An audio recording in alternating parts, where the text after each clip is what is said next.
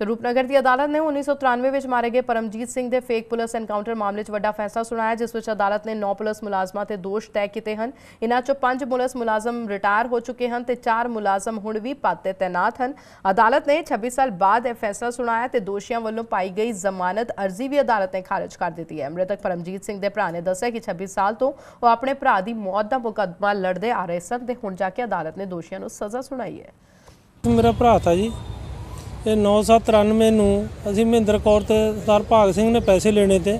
ਭਾਗ ਸਿੰਘ ਸਾਡੀ ਜ਼ਮੀਨ ਬਾਉਣ ਆਇਆ ਹੋਇਆ ਤਾਂ ਸਵੇਰੇ ਗਏ ਤਾਂ ਮਹਿੰਦਰ ਕੌਰ ਨੇ ਕਿਹਾ ਵੀ ਤੁਸੀਂ ਸ਼ਾਮੀ ਆ ਕੇ ਜਾਂ ਬੰਦਾ ਲੈ ਜਾਓ ਜਾਂ ਪੈਸੇ ਲੈ ਜਾਓ। ਤਾਂ ਸ਼ਾਮ ਭਾਗ ਸਿੰਘ ਆਪਣੇ ਪਿੰਡ ਚਲੇ ਗਿਆ ਤਾਂ ਪਰਮਜੀਤ ਸ਼ਾਮ ਨੂੰ ਜਾ ਗਿਆ ਜੀ, ਮਹਿੰਦਰ ਕੌਰ ਦੇ ਘਰਾਂ ਤਾਂ ਉੱਥੇ ਪੁਲਿਸ ਵਾਲਿਆਂ ਨੇ ਮਾਰ ਦਿੱਤਾ। ਤਾਂ ਇਹਨਾਂ ਨੇ ਝੂਠਾ ਮੁਕਾਬਲਾ ਦਿਖਾਇਆ ਜੀ, ਜੋ ਕਿ ਇਹਨਾਂ ਨੇ ਜਾਣਬੁੱਝ ਕੇ ਮਾਰਿਆ। ਜੋ ਅੱਜ ਕੋਰਟ ਨੇ ਸਾਨੂੰ ਇਨਸਾਫ ਦਿੱਤਾ ਜੀ, ਸੈਸ਼ਨ ਕਮਿਟ ਕਰਿਆ। ਉਹਨਾਂ ਨੂੰ ਅਰੈਸਟ ਪਾਈ। ਬਾਕੀ ਜੀ ਸਾਨੂੰ ਅੱਗੇ ਵੀ ਪੂਰਾ ਭਰੋਸਾ ਕੋਰਟ ਤੇ ਵੀ ਸਾਨੂੰ ਇਨਸਾਫ ਮਿਲੇ। ਸਾਨੂੰ ਸਰ ਉਮੀਦ ਇਹ ਆ ਵੀ ਸਾਨੂੰ ਅਸੀਂ ਕਹਿੰਦੇ ਵੀ ਇਹਨਾਂ ਨੂੰ ਸਾਰੇ ਬੰਦਿਆਂ ਨੂੰ ਸਜ਼ਾ ਹੋਣੀ ਚਾਹੀਦੀ ਆ। ਇਹਨਾਂ ਨੇ ਜੋ ਮਰਡਰ ਕਰਿਆ ਜਾਣਬੁੱਝ ਕੇ, ਉਹਦੀ ਸਜ਼ਾ ਜਿਨ੍ਹਾਂ ਨੂੰ ਜ਼ਰੂਰ ਮਿਲਣੀ ਚਾਹੀਦੀ ਹੈ ਇਹਨਾਂ ਨੇ ਗਲਤ ਕਰਿਆ। 26 ਸਾਲ ਹੋ ਗਏ ਜੀ ਇਹ ਸੰਘਰਸ਼ ਕਰਦਿਆਂ ਨੂੰ। ਅਸੀਂ ਹਾਈ ਕੋਰਟ ਵੀ ਗਏ ਆ।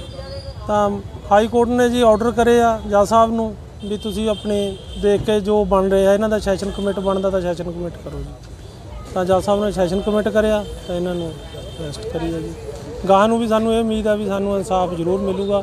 ਜੇ ਦੇਰ ਹੋਗੀ ਤਾਂ ਇਨਸਾਫ ਜ਼ਰੂਰ ਮਿਲੂਗਾ।